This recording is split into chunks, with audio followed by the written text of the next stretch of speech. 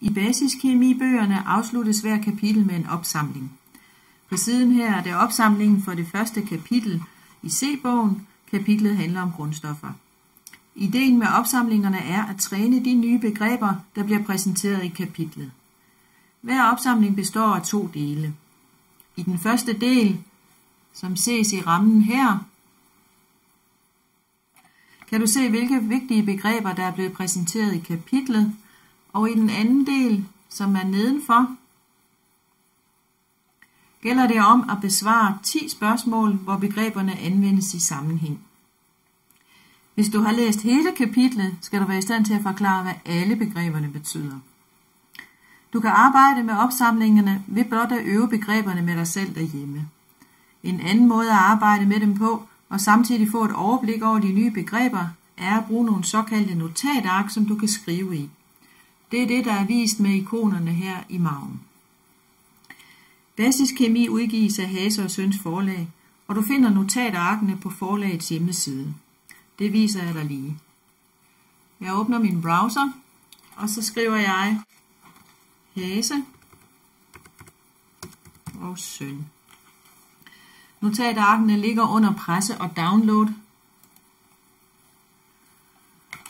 Og her har vi siden hos forlaget, og jeg kører nedad, indtil vi finder det, vi skal bruge.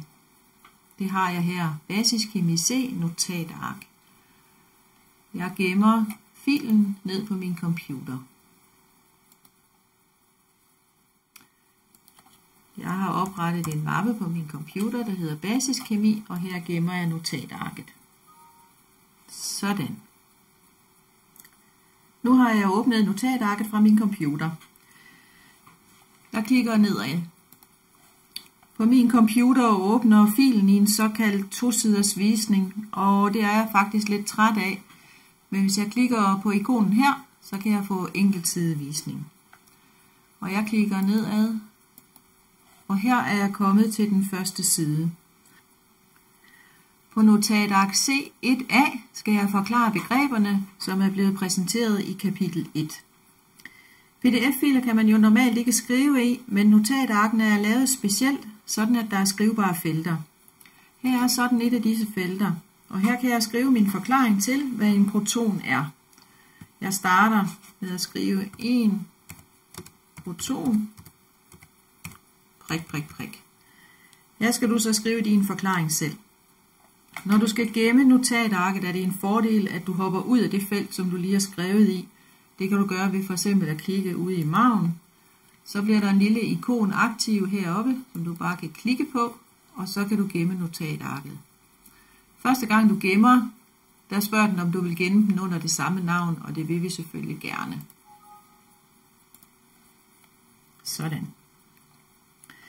I kemi har vi jo tit brug for at skrive hævet og sænket skrift, og det vil jeg også lige vise dig, hvordan du gør. Jeg kører lidt nedad her og kommer til begrebet isotop. Her kunne jeg tage udgangspunkt i de to lithium-isotoper, som er nævnt i bogen, nemlig lithium-6 og lithium-7. Jeg skriver 6Li og 7Li som starten på min forklaring omkring isotoper. Så vil jeg lige markere 6-tallet, og hvis jeg højre klikker, får jeg mulighed for at vælge forskellige teksttyper, blandt andet fed skrift, kursiv, understreget, hævet og sænket. Og i det her tilfælde er det jo hævet skrift, jeg gerne vil have. Så den klikker jeg på. Og det samme gør jeg for syvtallet. Hævet skrift. Det var kun starten. Der skal stå noget mere bagefter, men det vil jeg overlade til dig at fylde ud. Jeg hopper ud af feltet og trykker på ikonen.